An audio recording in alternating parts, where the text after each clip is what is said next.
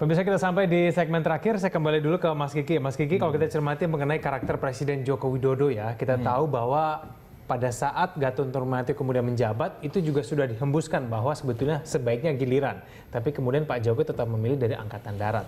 Nah ini kalau menurut Anda, karakter Pak Jokowi nanti ke depan ini apakah kemudian ia mendapatkan semua pertimbangan yang betul-betul baik begitu ya, yang betul-betul lengkap ketika memilih kepala staf yang nanti akan menjadi Panglima TNI dan kemudian nanti outcome-nya akan seperti apa Pak?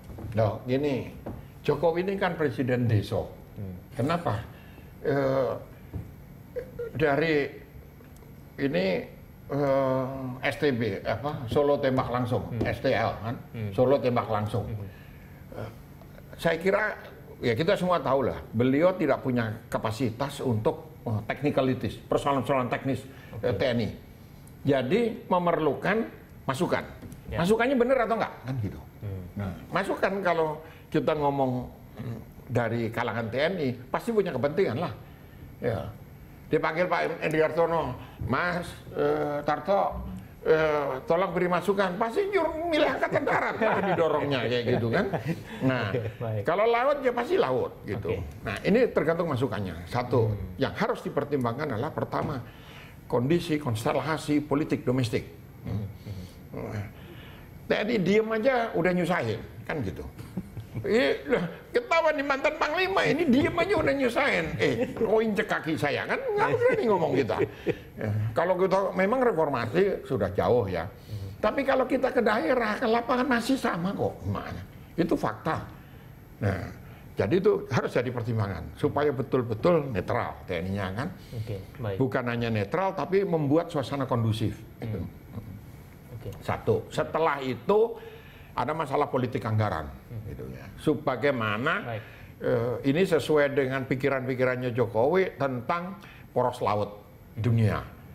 Enggak mungkin lah orang darat eh, paham mengenai poros laut dunia, pasti salah kan? Hmm. Gitu. Nah, artinya justru fokusnya ke laut, padahal sekarang jatah udara, gitu. okay. Artinya konsep kalau dia panglimanya dari udara, dia harus mampu membuat uh, blueprint uh, strategi keamanan nasional, okay.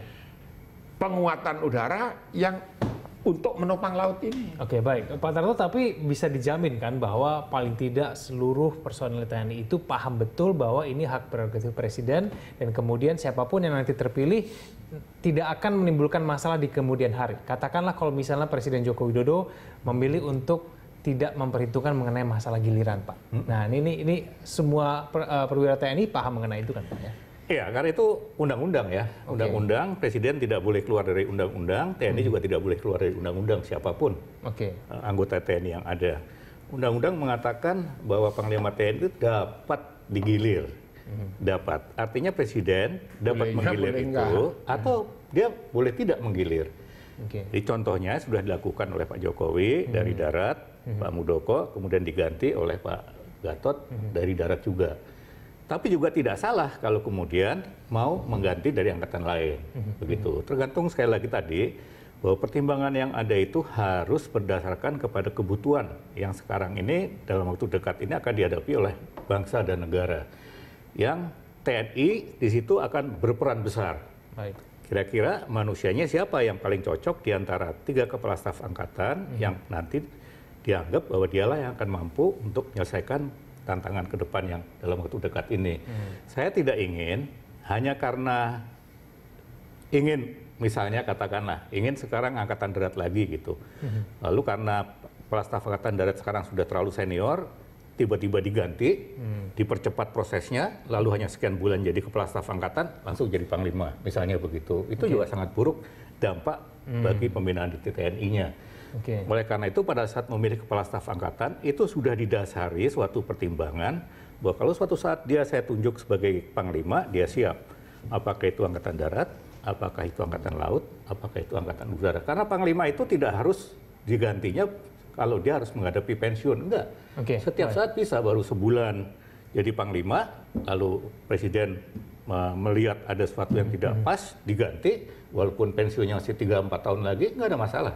Hmm. atau okay. dia masih masih pensiun 3 4 tahun lagi baru ya. menjabat satu tahun diganti juga harus bisa. Nah, siapa penggantinya? Penggantinya kepala staf angkatan.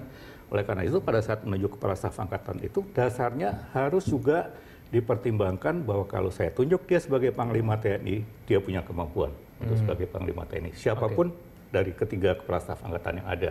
Baik. Sehingga nggak pusing-pusing. Oke, berarti skenario Mas Kiki nggak masuk tadi berarti ya? Oke Mas Kiki kalau statement seperti apa? Kasih darat, selesai urusan politiknya, baru ke, ke udara kan?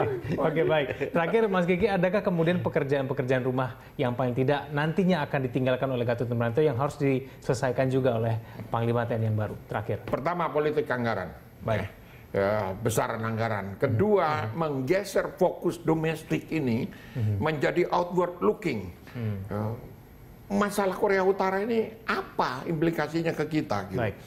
Masalah Cina apa? Hmm. Apakah ada pergeseran dari ancaman Australia misalnya? Hmm. Apa ancaman uh, terusan kera yang akan beroperasi mulai ta uh, tahun 19, 19 tahun 19 nanti? Hmm terhadap ekonomi dan artinya terhadap keamanan nasional kita. Okay. Dan itu. Baik. Jadi orientasi ini harus fokusnya mulai keluar. Gitu. Kalau okay. nggak nanti ribut urusan politik aja nih kedai. Baik, kita akan tunggu bersama kira-kira kapan Presiden Joko Widodo akan mengirimkan surat kepada Komisi 1. Kita akan lihat nanti siapa yang akan menggantikan Gatot Nurmantio. Terima kasih Mas Kiki telah bergabung sama kami. Selamat malam. Pak Tarto juga selamat malam. Selamat malam. Terima, kasih. Terima kasih. Pemirsa demikianlah penonton talk pada kali ini. Anda bisa mengirimkan informasi dan saran kepada kami lewat email di redaksi berita1.tv atau follow kami via Twitter, Facebook, YouTube, dan juga Instagram. Atas nama kerabat kerja yang bertugas, saya undur diri. Terima kasih. Sampai jumpa.